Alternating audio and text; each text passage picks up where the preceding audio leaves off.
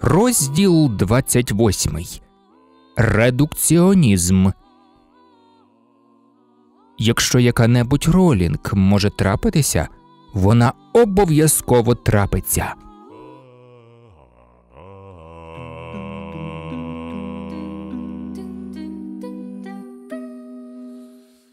Це має бути очевидним, проте повторюся погляди, які висловлює Северус Снейп, не обов'язково збігаються з поглядами автора.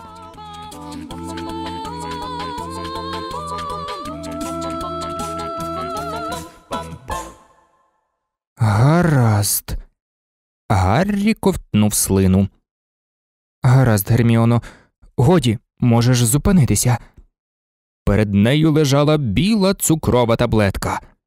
Вона досі зовсім не змінила ані форми, ані кольору, хоча Гаррі ще не бачив Герміону настільки сконцентрованою. Очі щосили заплющені, лоб вкрився краплинами поту, тремтлива рука стискає паличку. Герміоно, зупинися, це не спрацює, Герміоно. Думаю, ми не можемо створювати те, чого ще не існує. Герміона повільно розслабила пальці, зімкнені на паличці. Я гадала, що відчула це, ледь прошепотіла вона. Гадала, що відчула, як воно починає трансфігуруватися лише на мить. Клубок застряг Гаррі в горлі. Ти, напевно, лише уявила це, надто сподівалася. Мабуть, погодилась Герміона. Здавалося, що вона от-от розплачеться. Гаррі неквапливо взяв механічний олівець, дотягнувся до аркуша з викресленими пунктами і намалював лінію поверх рядка ліки проти хвороби Альцгеймера. Випити трансфігуровану таблетку ніхто не зміг би, проте трансфігурація, принаймні та, яку вони могли виконувати, не наділяла цільові об'єкти магією, не перетворювала звичайні мітли на летючі. Тож, якби Герміоні їй вдалося створити пігулку, то тільки не магічну, що діяла б згідно зі звичайними матеріальними принципами, вони могли б таємно виробити такі таблетки для Маклівської наукової лабораторії, щоб там їх вивчили і спробували відтворити, перш ніж трансфігурація мине. Решті світу не обов'язково знати, що тут якось причетна магія, просто черговий науковий прорив. І таке не спало б на думку чарівникові. Прості послідовності атомів не заслуговували їхньої особливої поваги, вони не думали про незачакловані матеріальні предмети, як про речі сили. Немагічне для них дорівнювало нецікавому. Якось Гаррі надзвичайно таємно, навіть із Герміоною не поділився, спробував був трансфігурувати нанотехнологію в стилі Еріка Дрекслера. Він намагався виробити настільний нанозавод, а не, звісно, крихітні самовідтворювальні асемблери. Гаррі ж небожевільний. Так він досягнув би всемогутності, зробивши всього один крок, якби це спрацювало. Це все на сьогодні, так? запитала Герміона. Вона важко впала в крісло, відкинувши голову на спинку. На обличчі проступала втома, що було вкрай незвично для Герміони. Їй подобалося вдавати, що енергія б'є з неї через край, принаймні коли Гаррі був поруч. Ще один досвід, обережно промовив Гаррі, але невеличкий, до того ж справді може спрацювати.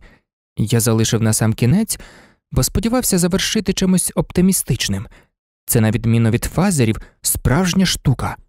Її вже створили в лабораторії, на відміну від ліків проти Альцгеймера, і це просто речовина, на відміну від втрачених книжок, чиї копії ти намагалася трансфігурувати.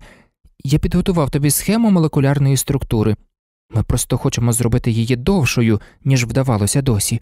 Усі трубки треба розмістити паралельно, а кінцеві точки убудувати в діамант. Гаррі дістав аркуш міліметрового паперу. Герміона сперлася на спинку, взяла його і почала насуплено вивчати. Це все атоми вуглецю?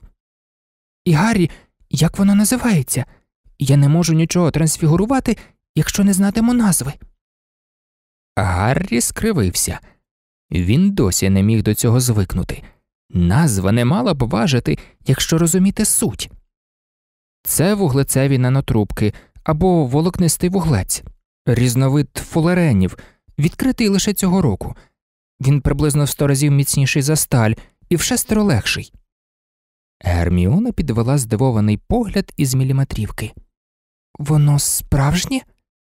Так. Просто його складно виготовити у маклівський спосіб. Маючи вдосталь цієї штуки, ми могли б збудувати з неї космічний ліфт аж до геосинхронної орбіти чи й вище, а в плані Дельта Ві це вже пів шляху до будь-якого місця в сонячній системі. Крім того, ми могли б запускати супутники із сонячними електростанціями як конфеті. Герміона знову насупилася. А воно безпечне? Не можу уявити, чому ні. Вуглецева нанотрубка це ж просто графітовий аркуш, згорнутий у циліндричну трубку, а графіт це по суті те саме, що використовується в олівцях. Я знаю, що таке графіт Гаррі. Обірвала його Герміона. Вона не самохідь відкинула волосся, наморщила лоба і втупалася в аркуш. Гаррі дістав із кишені мантії білу нитку, прив'язану з обох кінців до двох невеличких сірих пластикових кілець. Місця, де нитка з'єднувалася з кожним кільцем, він закрапав був суперклеєм, щоб зробити це все монолітним об'єктом, який можна трансфігурувати в одне ціле. Якщо Гаррі не помилявся, цянокрилат діяв на основі ковалентних зв'язків і кращого суцільного тіла у світі, що зрештою складається з крихітних окремих атомів, годі було й шукати. Як будеш готова, сказав він, спробуй трансфігурувати це на низку паралельних нанотрубок, вбудованих у два діамантові кільця. Гаразд, повільно відповіла Герміона. Гаррі, мені здається, що я щойно щось пропустила. Той безпорадно знизав плечима. Мабуть, ти просто втомилася. Утім, говорити це вголос він не збирався. Герміона доторкнулася паличкою до одного із пластикових кілець і деякий час пильно в нього вдивлялася. На столі виблискували два невеличкі діамантові кільця, з'єднані довгою чорною ниткою. Змінилася, промовила Герміона. Складалося враження, наче вона намагається додати ентузіазму до голосу, та вже не мала на це сил. Що тепер? Гаррі дещо пригнічувала відсутність захвату в його партнерки дослідниці, проте він доклав усіх зусиль, щоб не виказати цього. Можливо, це спрацює у зворотному напрямі і підбадьорить її. Тепер перевіримо, яку вагу воно витримає. Неподалік стояла перекладина, яку Гаррі ще раніше встановив для досліду з діамантовими стержнями. Трансфігурувати на об'єкти із суцільного діаманта було легко, проте залишалися вони такими недовго. Попередній дослід перевіряв, чи вдасться трансфігурувати довший діамантовий стержень на коротший, підняти підвішену важку гирю, коли той стискатиметься, тобто чи можна трансфігурувати проти тиску. Як виявилося, можна. Гаррі обережно почепив одне блискуче діамантове кільце на великий металевий гак на верхівці конструкції, відтак прикріпив до нижнього кільця масивну металеву підвіску, на яку почав навішувати гирі. Трансфігурувати цей апарат Гаррі попросив був близнюків візлі. Ті недовірливо зиркнули на нього, ніби не могли збагнути, для якої витівки це бодай теоретично може знадобитися. Проте без питань виконали його прохання. Вони запевнили, що трансфігурація протримається три години, отже Гаррі й Герміона мали ще вдосталь часу. Сто кілограмів. приблизно за хвилину виголосив Гаррі. Не думаю, що така ж тонка сталева нитка витримала б цю вагу. Могло б бути куди більше, проте це всі гирі, які я підготував. І знову тиша. Гаррі випростався, підійшов до стола, сів на стілець і урочисто поставив галочку навпроти вуглецевій нанотрубки. Ось це спрацювало. Але ж від цього насправді немає користи, Гаррі, чи не так? озвалася Герміона, не піднімаючи голови з рук. Тобто, навіть якщо дати науковцям дослідити наші нанотрубки, вони не дізнаються, як виробити багато таких. Вони можуть дізнатися щось. Герміоно, тільки поглянь, ця крихітна ниточка витримує всю цю вагу. Ми щойно створили дещо, що не до снаги жодній маглівській лабораторії. Але до снаги будь-якій відьмі.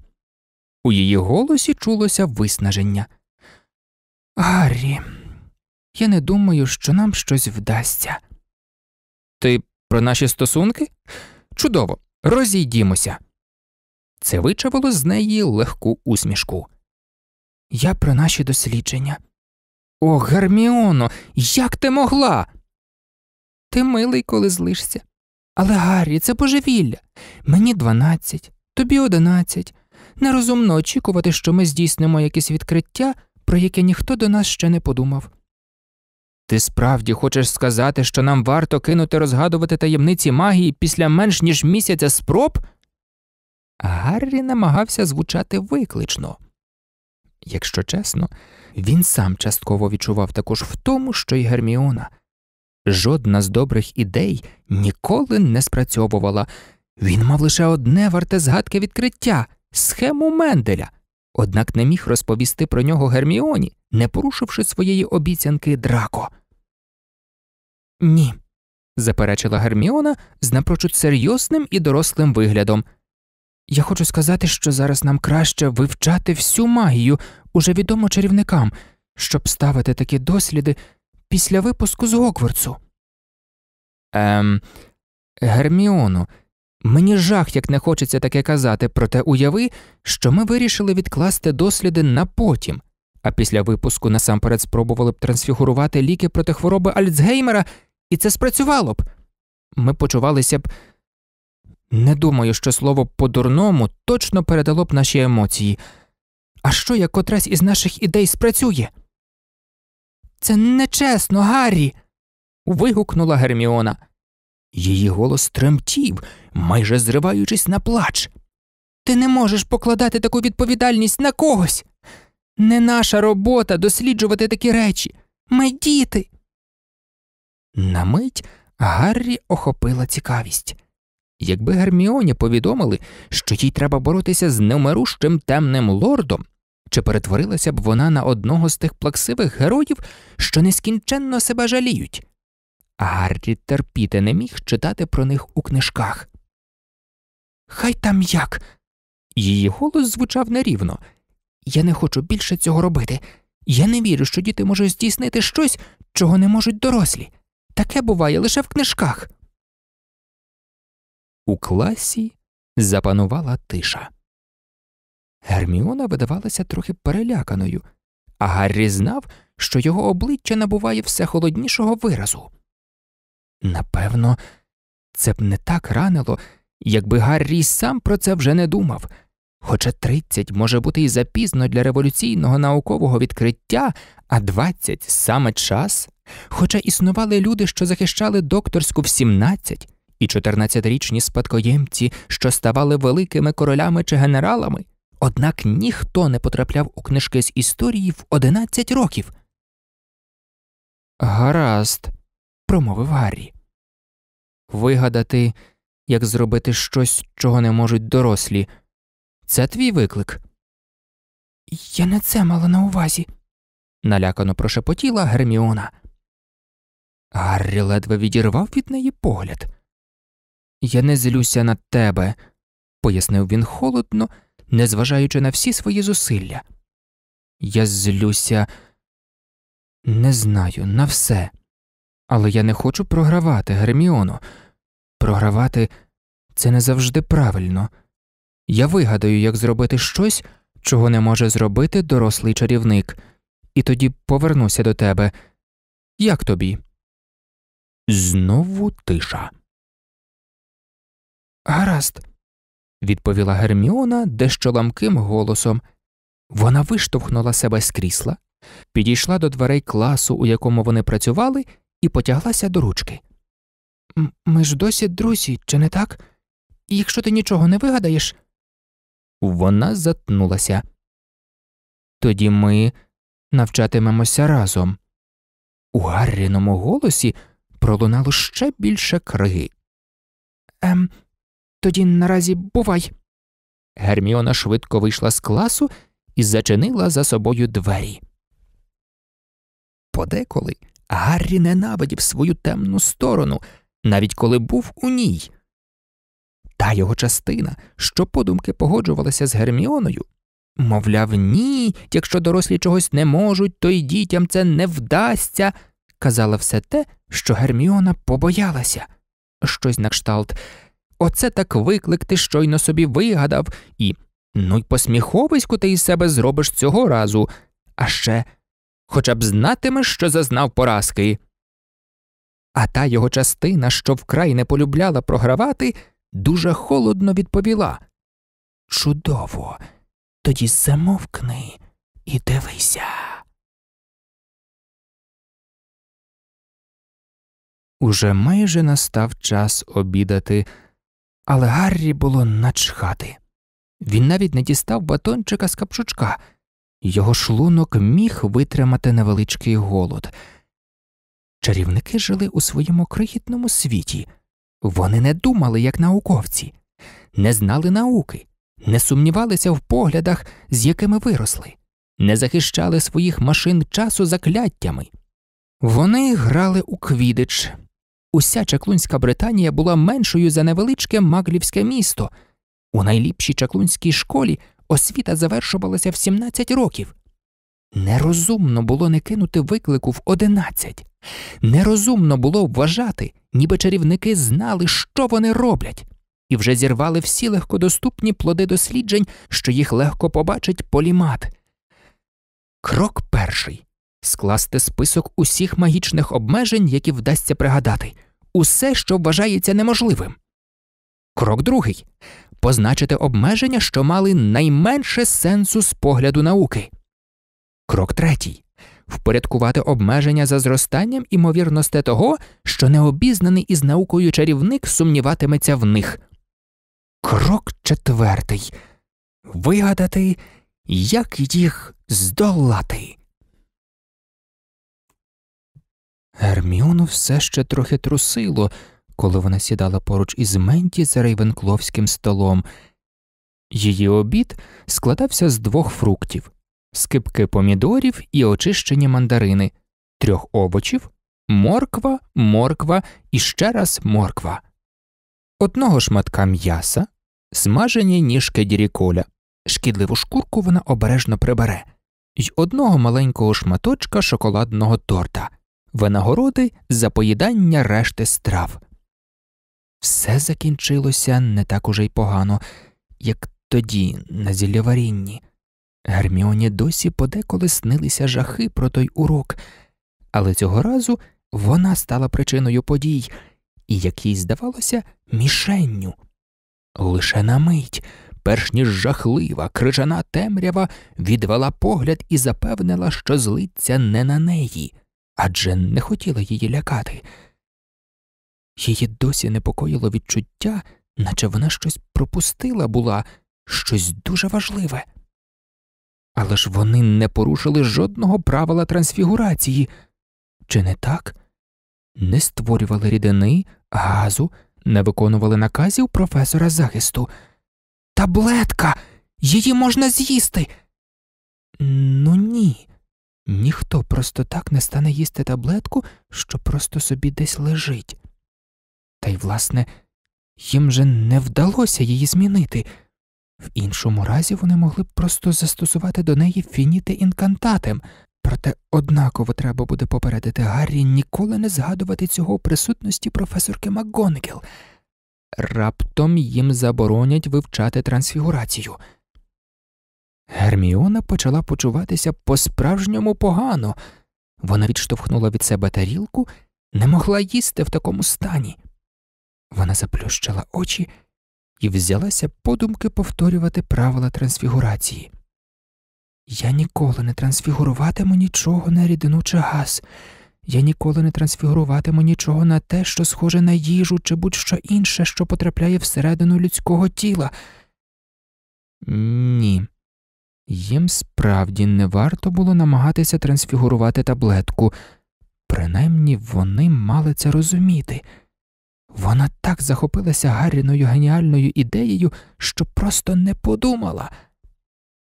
Герміоні дедалі гіршало. Просто на межі її свідомості блукало якесь відчуття, образ, що ось ось розкриється, дівчина, що ось ось стане старою каргою, ваза, що ось ось перетвориться на два обличчя. І вона далі пригадувала правила трансфігурації. Стиснуті на паличці пальці побіліли, і Гаррі облишив спроби трансфігурувати повітря перед собою на скріпку.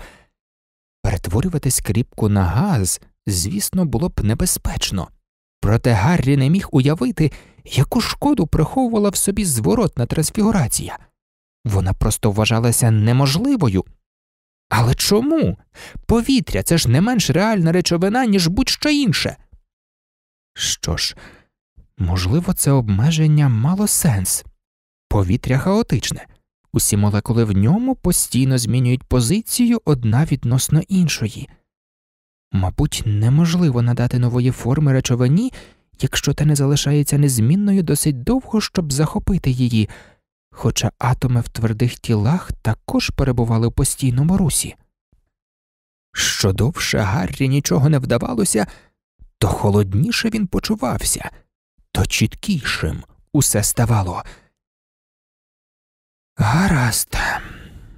Наступний пункт списку трансфігурувати об'єкти можна лише повністю. Неможливо трансфігурувати половину сірника на голку, тільки весь предмет. Коли драко зачинив був Гаррі в класі, саме це завадило йому перетворити тонкий циліндричний фрагмент стіни на губку і виштовхнути достатньо великий шматок каменю, щоб пролізти в отвір. Натомість він мав би надати нової форми всій стіні, а може, що й цілій секції Гогвардсу, просто щоб змінити цей маленький фрагмент. Це було сміховинно. Речі складаються з атомів, купи крихітних цяточок. Не існувало суміжностей, не існувало твердостей, лише електромагнітні сили, що тримали ці крихітні цяточки разом. Менді Брокелгерст завмерла з наполовину піднесеною до рота виделкою. Гей, сказала вона сулі, що сиділа навпроти тепер порожнього місця поруч із нею. Що це з Герміоною? Гаррі хотів убити гумку. Він намагався перетворити окрему частину рожевого прямокутника на сталь, не змінюючи решти гумки, однак та відмовлялася співпрацювати. Це мусило бути концептуальним обмеженням, а не справжнім. Мусило. Речі складаються з атомів, а кожен атом це крихітна окрема річ. Вони тримаються купи за допомогою квантового туману спільних електронів, ковалентних зв'язків, іноді за допомогою магнетизму на невеличких відстанях, іонних зв'язків або сил Вандервальса. Якщо вже на те пішло, то протони й нейтрони всередині ядра були крихітними окремими речами, кварки всередині протонів й нейтронів були крихітними окремими речами. Просто в дійсності не існувало нічого. Зовнішній світ не узгоджувався з химерними людськими уявленнями про тверді об'єкти, були лише крихітні цяточки. А вільна трансфігурація починається з розуму, чи не так? Ніяких слів, ніяких жестів, лише щира концепція форми, цілковито відокремлена від речовини і накладена на речовину, уявлену осібно від форми. Це паличка й те, що робить тебе чарівником, хай чим воно є. Чарівники не могли трансформувати частини речей, тільки те, що їхній розум сприймав як одне ціле, бо вони не розуміли до нутра кісток, що глибоко всередині все це є просто атоми.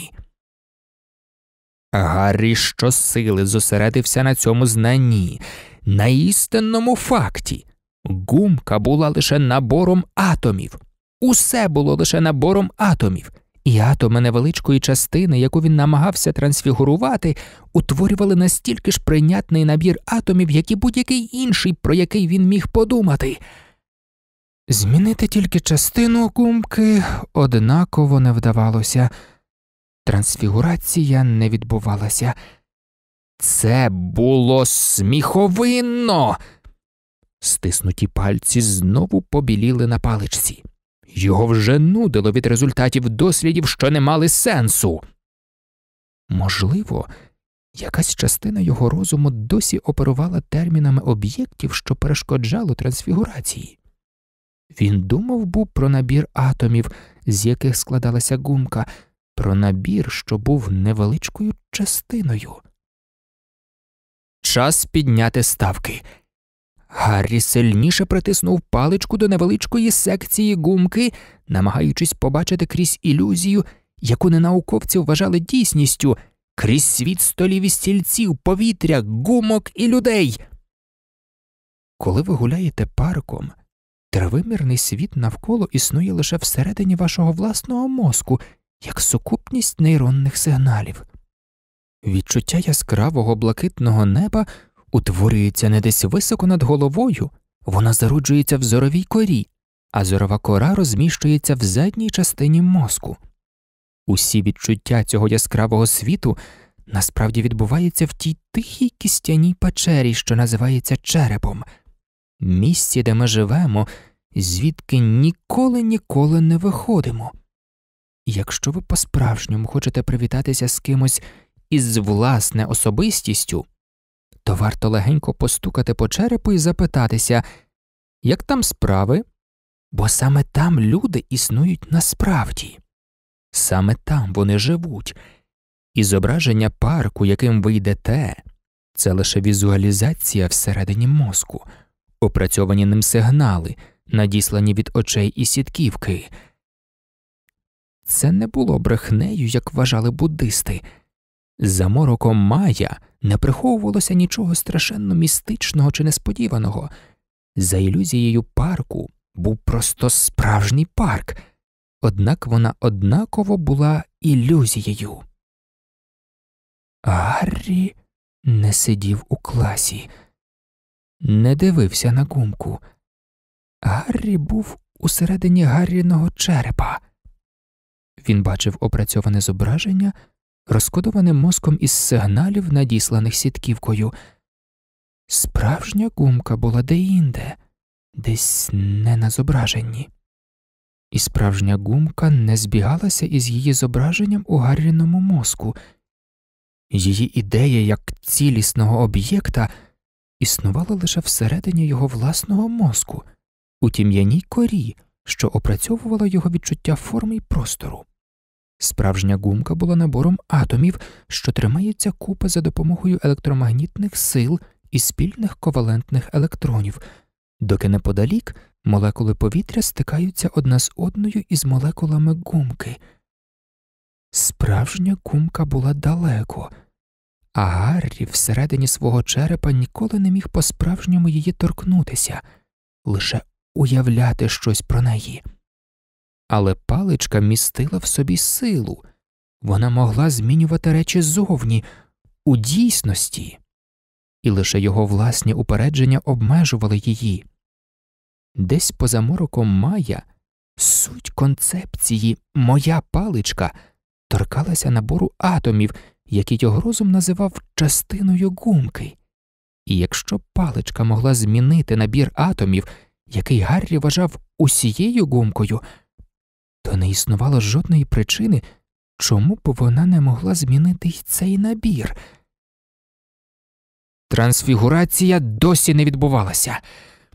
Гаррі стиснув зуби і знову підняв ставки.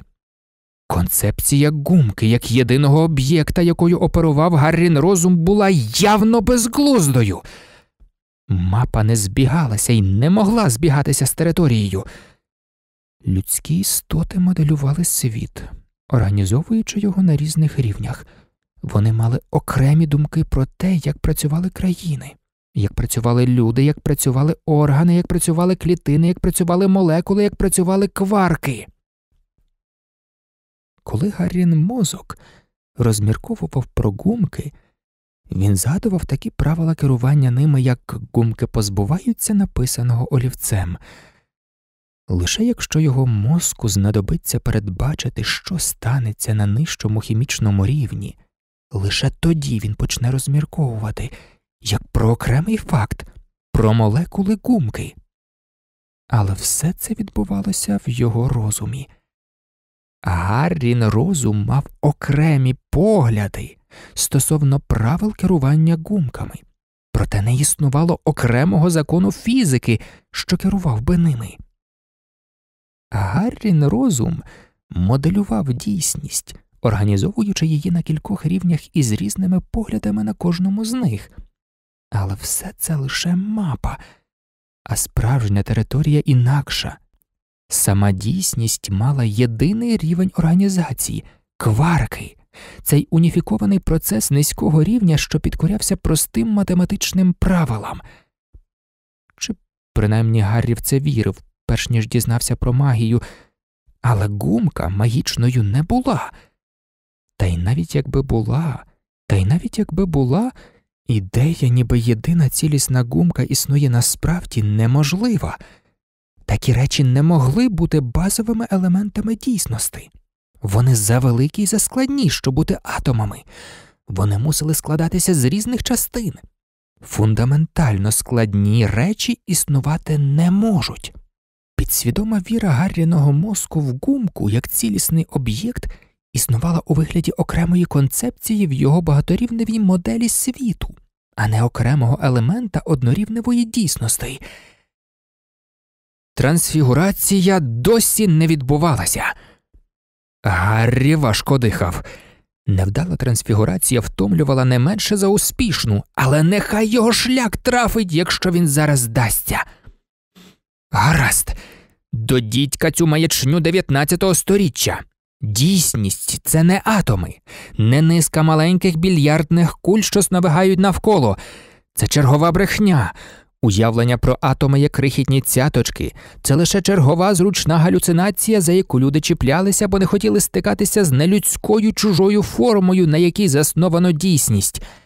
Якщо він хоче силу, то має забути про свою людяність і змусити свої думки відповідати істинній математиці квантової механіки.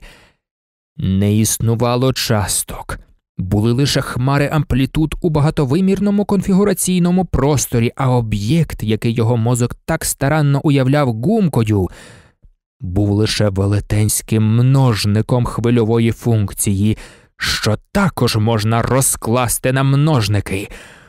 Окремо він не існує, як і не існує окремо цілісного множника три захованого в числі шість. Якщо його паличка могла змінювати множники хвильової функції, що приблизно можна розкласти на множники, то вона напевно здатна змінити й трохи менший множник, який Гаррін мозок зображав частиною матеріалу гумки. Герміона неслася коридорами. Вона голосно тупотіла кам'яною підлогою, важко й часто дихала, адреналін досі вирував у її крові. Ніби зображення дівчини, що стає старою каргою, ваза, що перетворюється на два обличчя. Що вони робили? Що вони робили? Герміона дісталася класу. Пальці спершу зісковзнули з ручки, надто спітнілі. Вона міцніше за неї вхопилася, і двері відчинилися. Їй вистачило одного погляду, щоб побачити, як Гаррі втупився в невеличкий рожевий прямокутник на столі навпроти себе, а за кілька кроків від нього крихітна чорна ниточка, майже невидима з такої відстані, підтримує всю цю вагу. Гаррі, геть із класу. На Гарріному обличчі проступило щире здивування. Він рвучко підхопився, ледь не впавши, і вилетів крізь двері, затримавшись лише на мить, щоб схопити зі стола маленький рожевий прямокутник. Вона відступила у бік, вказавши паличкою на нитку. Фініте інкантатем. Герміона хряснула дверима, саме коли зсередини долинуло гучне гепання ста кілограмів металу. Вона задихалася, хапаючи ротом повітря. Вона пробігла була весь шлях без жодної зупинки. Вона промокла від поту, ноги й стегна горіли, наче охоплені полум'ям. Вона б не змогла відповісти на Гарріні питання навіть за всі галеони світу. Герміона кліпнула і зрозуміла, що падає.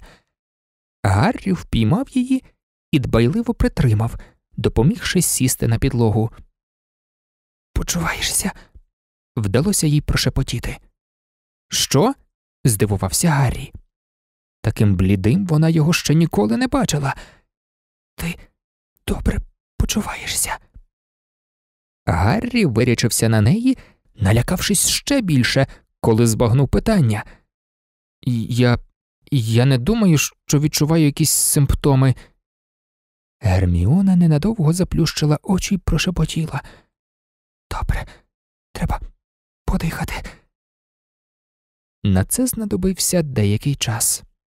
Гаррі досі був переляканий. Це теж добре, можливо, навчить його чогось. Герміона опустила руку в подарований Гаррі капшучок. Вода. пошепки витиснула вона із своєї пересохлої горлянки, взяла пляшку і почала пити величезними ковтками. Знадобився ще деякий час, перш ніж вона змогла розмовляти. Ми порушили правила Гаррі, хрипко пояснила вона. Ми порушили правила.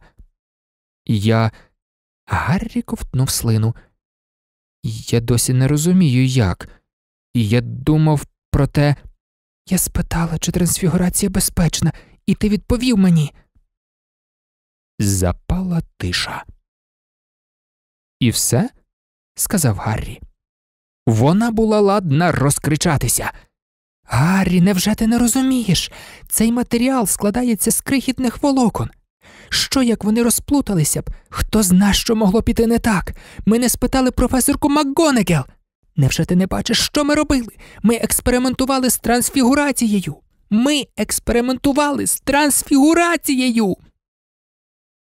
Знову запала тиша. Так, повільно відповів Гаррі. Мабуть, це одна з тих речей, про які ніхто не попереджає, бо це надто очевидно. Не перевіряйте свої геніальні нові трансфігураційні ідеї самостійно в закинутому класі, не порадившись із кимось із професорів. Гаррі, ти міг нас убити. Герміона знала, що це нечесно. Вона теж помилилася, однак досі на нього злилася. Він завжди був таким впевненим і бездумно затягнув її із собою. Ми могли зіпсувати бездоганний рекорд професорки МакГонегел. Так, краще не розповідаймо їй про це, гаразд? Ми маємо зупинитися. Ми маємо зупинити це, інакше постраждаємо. Ми замалі, Гаррі, ми не здатні на це. Ще ні. Гаррі легенько посміхнувся. Ем, тут ти трохи помиляєшся. І протягнув їй маленький рожевий прямокутник, гумку з яскравою металевою плямою.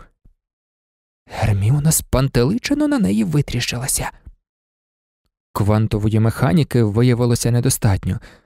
Мені довелося зануритися в безчасову фізику, перш ніж вдалося. Мав збагнути, що паличка створює міст між окремими дійсностями, минулою та майбутньою, а не змінює щось із часом. Але мені вдалося, Герміону, я побачив крізь ілюзію об'єктів і готовий закластися, що жоден інший чарівник у світі цього не зміг би. Навіть якщо хтось із маглородців і знає про безчасові формулювання квантової механіки, то вважає їх просто чудернацьким тлумаченням якоїсь дивної і далекої квантової штуки. Вони не розуміють, що це дійсність, не приймають, що видимий їм світ лише галюцинація. Я трансфігурував частину гумки, не змінюючи решти об'єкта. Герміона знову підняла паличку і спрямувала її на гумку. На Гарріному лиці промайнула злість, але він навіть не ворухнувся, щоб зупинити її. Фініте інкантатем, промовила Герміона. Проконсультуйся з професоркою МакГонегел перед тим, як спробуєш знову. Гаррі кивнув, хоча обличчя залишалося напруженим. І нам однаково треба зупинитися. Чому? Хіба ти не розумієш, що це означає, Герміоно? Чарівники не знають усього, їх замало, а тих, кому бодай щось відомо про науку, навіть менше. Вони ще не зірвали всіх легкодоступних плодів досліджень. Це небезпечно. А якщо нам до снаги відкрити щось нове, то це ще небезпечніше. Ми замалі. Ми вже припустилися великої помилки сьогодні. Наступного разу ми можемо просто померти. Герміона здригнулася. Гаррі відвернувся від неї і почав повільно, повільно дихати. Будь ласка, не намагайся робити це самостійно, Гаррі. Тремтливим голосом попрохала Герміона. Будь ласка, будь ласка, не змушуй мене вирішувати чи доповідати про це професорові Флитвіку. Запала довга мовчанка. Отже, ти хочеш, щоб ми навчалися, уточнив Гаррі, намагаючись приховати злість у голосі, як зауважила вона. Просто навчалися. Герміона не була впевнена, чи варто щось казати про те так само, як ти вивчав ем, безчасову фізику, правильно? Гаррі поглянув на неї. Ця штука. Вона обережно провадила далі. Тобі ж вдалося не через наші досліди, правда? Тобі вдалося, бо ти прочитав багато книжок. Гаррі роззявив рота, відтак закрив його, видаючись роздратованим. Гаразд, як щодо такого? Ми навчаємося, а якщо я вигадаю щось справді варте зусиль, то спробуємо після того, як я спитаю професорки. Згода. Герміона не впала від полегшення лише тому, що вже сиділа. Пообідаємо? несміливо запропонував Гаррі. Герміона кивнула. Так, обід це звучало добре. Цього разу по справжньому. Вона обережно почала підводитися з кам'яної підлоги, кривляючись, коли її тіло заволало на неї. Гаррі вказав на неї паличкою. Вінгардіум левіоза. Герміона кліпнула, відчувши, як величезна вага зникла з її ніг, залишивши по собі щось стерпне. Гарріні губи розтягнулися в усмішці. Можна підняти щось не левітуючи повністю. Пам'ятаєш цей досвід? Герміона безпорадно усміхнулася у відповідь, хоча мала б досі злитися. Вони рушили назад до великої зали. Ноги здавалися надиво легкими, доки Гаррі старанно спрямовував на неї паличку. Він протримався лише п'ять хвилин, проте головне увага. Мінерва дивилася на Дамблдора, той допитливо поглянув на неї. Ти зрозуміла хоч щось.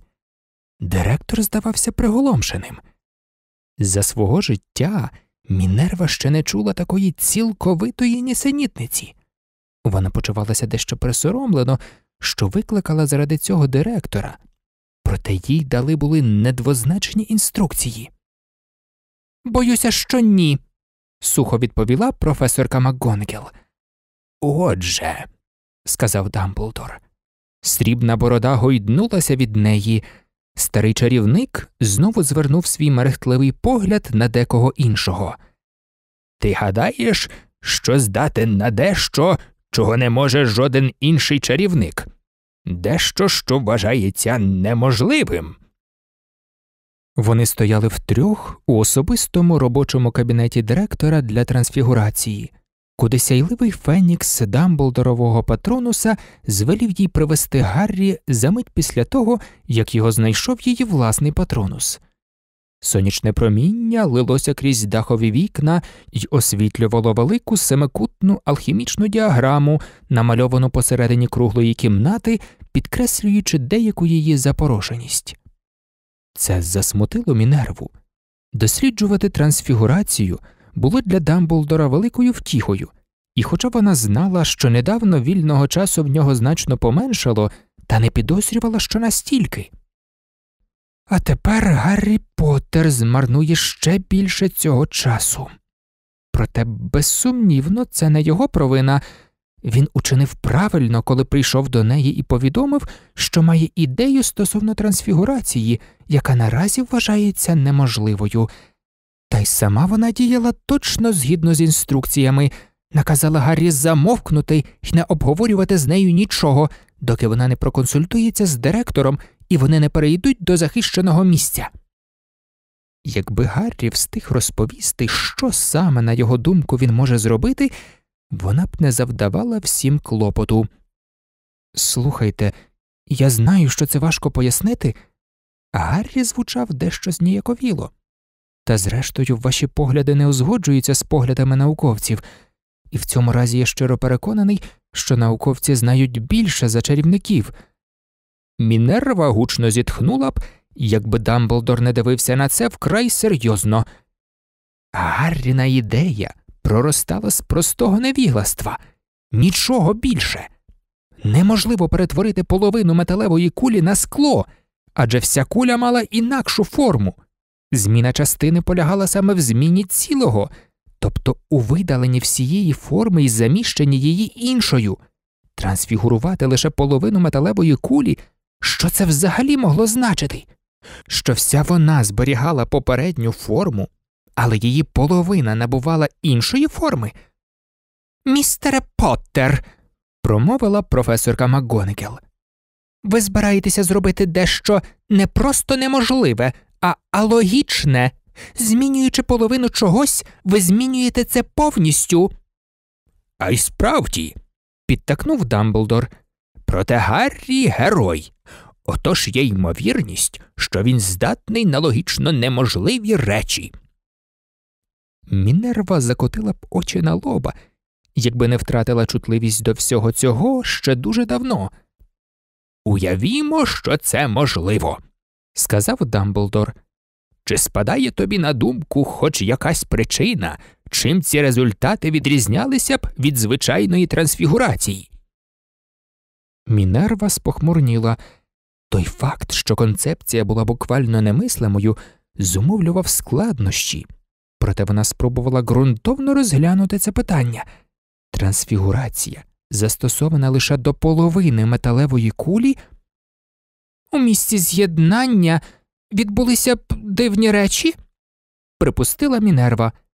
Однак це нічим не відрізнялося б від трансфігурації цілого об'єкта на форму з двома різними половинами. І я теж так вважаю, кивнув Дамблдор. Гаррі, якщо твоя теорія правильна, то це нічим не відрізняється від будь-якої іншої трансфігурації, крім того, що її застосовано до частини, а не до всього предмета. Це все? Саме так? запевнив Гаррі. У цьому й уся річ. Дамблдор ще раз на неї поглянув. Мінерво, чи відома бодай якась причина, чому це може бути небезпечним? Ні. виголосила Мінерва, покопирсавшись як слід у своїй пам'яті. Мені теж. Що ж, оскільки з будь-якого погляду це цілковита аналогія звичайної трансфігурації, і ми не можемо вигадати бодай якоїсь причини, чому вона може бути небезпечною, Гадаю, вистачить другого ступеня обережностей. Мінерва здивувалася, проте заперечувати не стала. Дамблдор мав куди більше досвіду в трансфігурації, ніж вона. Він випробував буквально тисячі нових її видів і жодного разу не вибрав за низького ступеня обережностей. Він застосував трансфігурацію під час битви й вижив. Якщо директор вважав, що другого ступеня обережності вистачить, значить, вистачить. Гаррі зазнає невдачі, звісно, проте це не суттєво. Вони вдвох почали. Вони вдвох почали налаштовувати захисні чари і сигнальні сітки. Найважливіша з них перевіряла, щоб ані крихти трансфігурованого матеріалу не потрапило в повітря. Гаррі перебуватиме в окремій силовій оболонці з власним запасом повітря, просто про всяк випадок. Це поле може покинути тільки його паличка, а врешті воно буде непроникним. Всередині Гогвартсу вони не мали можливості автоматично роз'явити будь-який матеріал у разі спонтанного займання, але могли запустити його майже так само швидко крізь дахові вікна, що відчинялися назовні саме з цієї причини. Сам Гаррі вилетить крізь інше дахове вікно за перших ознак проблем. Гаррі трохи злякано спостерігав за їхніми діями. Не варто хвилюватися, містере Поттер, підбадьорила професорка МакГонегіл, обірвавши свій опис посередині. Це майже напевно не знадобиться. Якби була ймовірність, що щось піде не так, вам би не дозволили спробувати. Це лише звичайні перестороги для будь-якої трансфігурації, що ніколи раніше не випробовувалася. А Гаррі ковтнув слину і кивнув. І ось за кілька хвилин Гаррі сидів закріплений у захисному стільці і торкався паличкою металевої кулі, занадто великої, щоб він впорався з її трансфігурацією менш як за 30 хвилин, зважаючи на його поточні оцінки. А ще за кілька хвилин Мінерва сперлася на стіну, ледь не знепритомнівши. На кулі виблискував невеличкий шматочок скла в тому місці, де Гаррі притиснув свою паличку. Він не вигукнув А я ж казав. Але його самовдоволене, спітніле обличчя було досить красномовним. Дамблдор аналізував кулю чарами, щомиті захоплюючись дедалі більше. Тридцять років стануло з його обличчя. Дивовишно, промовив Дамблдор. Усе саме так, як він стверджував. Гаррі просто трансфігурував частину об'єкта, не перетворюючи його повністю. То ти кажеш, що обмеження суто концептуальне? Так, але глибоке. Просто знати, що воно мусить бути концептуальним, виявилося недостатньо. Мені довелося пригнітити ту частину розуму, що помилялася, і мислити натомість про основи дійсності, які відкрили науковці. Справді дивовижно не вгавав Дамблдор.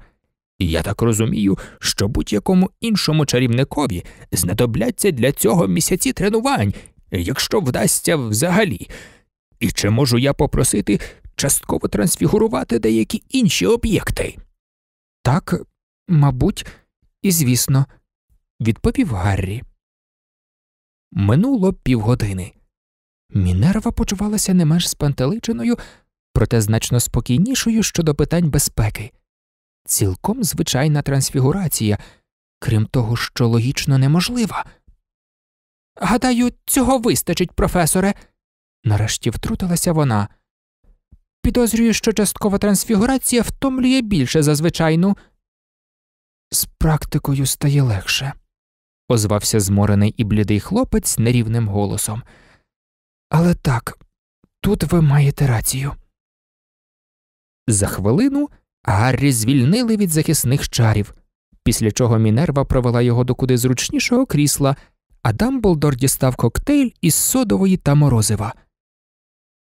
Вітаю, містере Поттер!» Професорка МакГонекіл говорила від щирого серця. Вона могла б закластися майже на що завгодно, що це не спрацює. Ще як вітаю. приєднався Дамблдор. Навіть я не здійснив оригінального відкриття в трансфігурації, доки мені не виповнилося 14. Із часів Доротеї Сеняк жоден геній не розквітав так рано. Дякую, трохи здивовано сказав Гаррі. А втім, Дамблдор задумався. Вважаю, що наймудріше буде зберегти цю щасливу подію в таємниці, принаймні поки що. Гаррі, ти розповідав комусь про свою ідею, перш ніж звернутися до професорки МакГонекел. Запала тиша. Ем, не хочеться нікого здавати інквізиції, проте я поділився з деким із учнів. Що? Професорка МакГонегел ледь не вибухнула. Що? Ви обговорювали цілковито невідому форму трансфігурації з кимось із учнів, перш ніж проконсультуватися з визнаним авторитетом? Ви хоч уявляєте, наскільки це безвідповідально? Вибачте, я не подумав був. Гаррі ставався достатньо наляканим, і Мінерва відчула, як щось усередині неї розслабилося. Принаймні він збагнув, що поводився по дурному. Ти маєш узяти з міс Грейнджер обітницю мовчання. Суворо звелів Дамблдор. І більше нікому не розповідай, хіба що матимеш надзвичайно вагому причину, а інша людина також заприсягнеться зберігати таємницю. А чому? запитав Гаррі.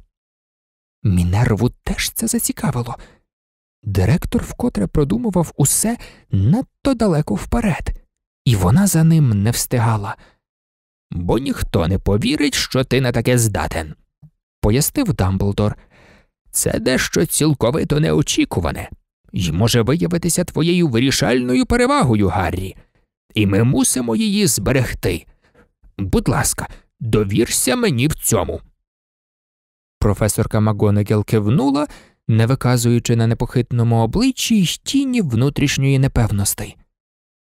Будь ласка, так і вчиніть, містере Поттер».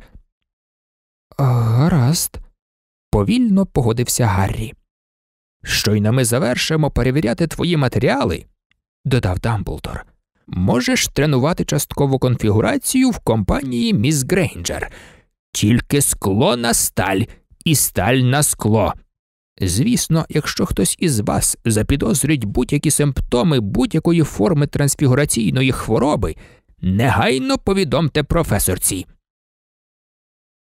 Уже майже вийшовши з робочого кабінету, Гаррі затримав долоню на дверній ручці, озирнувся і запитав Доки ми всі тут, чи не помітив хтось із вас щось незвичне в професорові Снейпі? Незвичне? повторив директор. Мінерва стримала суху посмішку. Звісно, хлопець тривожиться через злого майстра зіллєвара, адже не знає, чому Северу собі можна довіряти. Було б щонайменше дивно пояснювати Гаррі, що той досі кохає його матір.